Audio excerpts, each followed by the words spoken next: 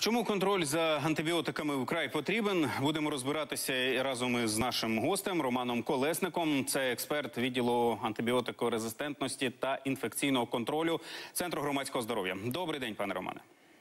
Доброго дня.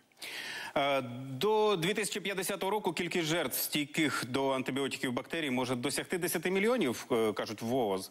Е, Близько 700 тисяч людей помирає щороку від таких от супербактерій. Розкажіть, будь ласка, як так вийшло? Чому з'являється резистентність до антибіотиків? Ну і, мабуть, взагалі слід почати з того, пояснити термін резистентність нашим глядачам для початку. Е, Щодо резистентності, резистентність це нечутливість мікроорганізмів до тих препаратів, якими їх лікують. Е, Тобто, фактично, е, ті засоби, які ми використовуємо, мікроорганізм просто їх не сприймає, і фактично йому байдуже від того, що ви на нього дієте чи не дієте. Якщо говорити про статистику, так е, до 2050 року Всесвітня організація охорони здоров'я нам прогнозувала, і тут наголошую, прогнозувала, що е, в у нас буде близько 10 мільйонів смертей від антимікробної резистентності на рік. Однак е, ця цифра, скоріше за все, буде трошки більшою е, внаслідок того, що ми на сьогоднішній день перебуваємо в пандемії, в пандемії коронавірусної інфекції, і ситуація з використанням і вживанням антимікробних препаратів в усьому світі доволі таки е, змінилася в гіршу сторону, тому що багато препаратів почали використовувати нераціонально. І на сьогоднішній день та статистика, яка була 700 тисяч, на сьогодні ми маємо статистику більше е, 1,2 мільйонів за розрахунковими даними.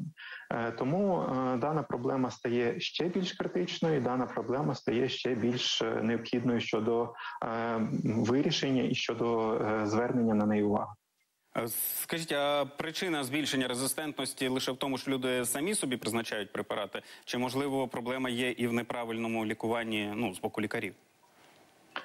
Причин в дійсності доволі таки багато. Е, Основна причина, е, звичайно, це нераціональне використання антибіотиків е, як в гуманній медицині, тобто серед людей, так і в ветеринарній медицині, так і як консервантів, наприклад, в рослинній промисловості, в рибному господарстві. Скрізь фактично використовують антибіотики. І, звичайно, чим більше ми їх використовуємо, е, тим більше ми отримуємо е, позитиву, начебто, але в той же час е, формується та сама резистентність, і ми стикаємося з тією проблемою, якою яка вже стала глобальною.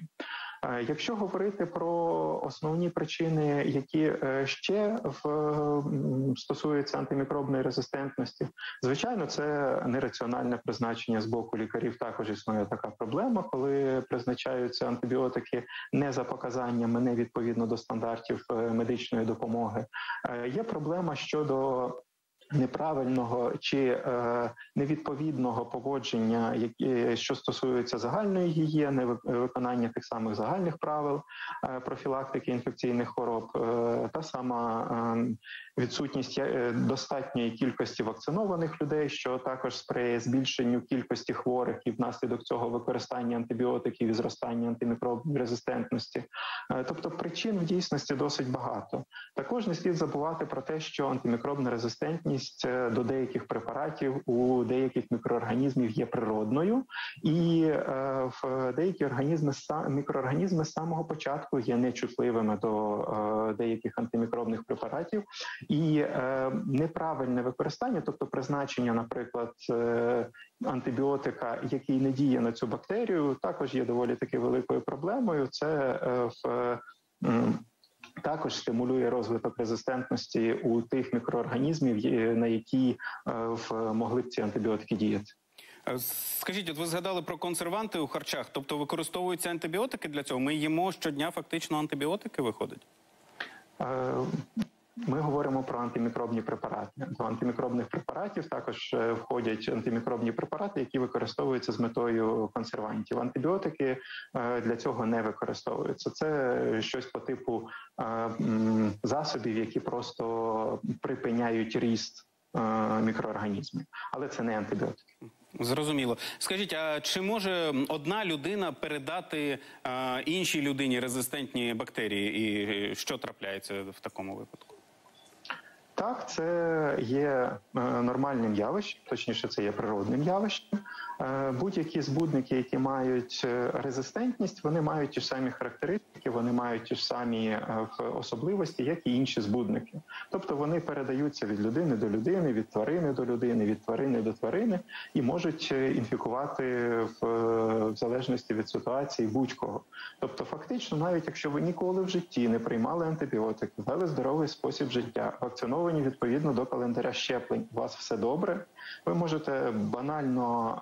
е, Приїхати е, в кудись на відпочинок, попити водички, інфікуватися сальмонельозом, який е, нечутливий до антибіотиків, і мати таку проблему з антимікробною резистентністю і фактично отримати доволі таки тяжку хворобу, навіть е, е, нічого не зробивши для того, щоб вона у вас розвинулася. Тобто ці мікроорганізми так само передаються, як і всі інші. Ну, резистентність до антибіотиків це не проблема сучасності, як ми знаємо. Після Другої світової вже повідомлялося про резистентність до пеніциліну, наприклад. Тож чому питання продажу антибіотиків за рецептом постало лише зараз у нас? Е, Антибіотики в дійсності за рецептом даються з самого початку існування України. І е, в, якщо ми говоримо про закон України про лікарські засоби, там чітко визначено, що е, лікарські засоби, е, в до яких е, входять антибіотики, продаються виключно за рецептом. Тому це просто е, удосконалення е, чинного законодавства для того, щоб е, посилити виконання закону України. З приводу того, що антибіотики.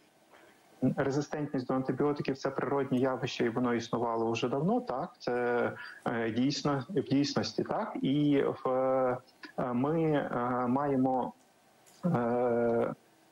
єдине на чому акцентувати увагу, що до 87-го року ми мали кожного року по декілька десятків нових антибіотиків.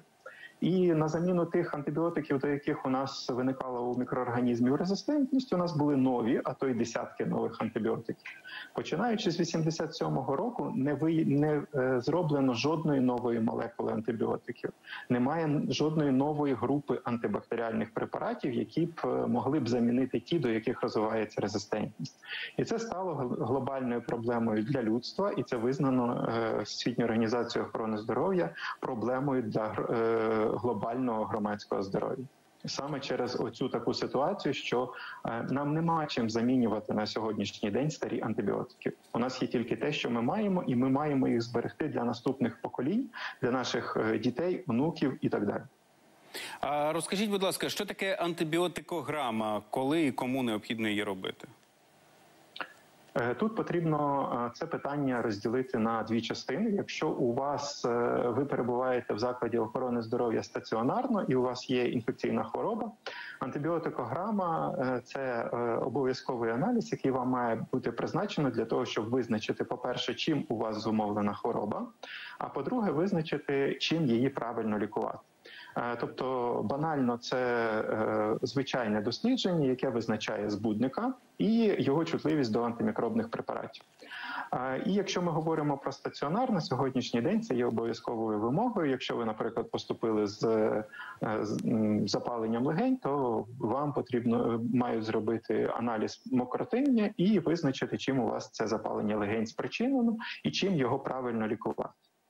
Якщо ми говоримо про амбулаторну поліклінічну ланку, в більшості випадків, якщо ми говоримо про гострі процеси, е, саме про гострі антибіотикограма не потрібна.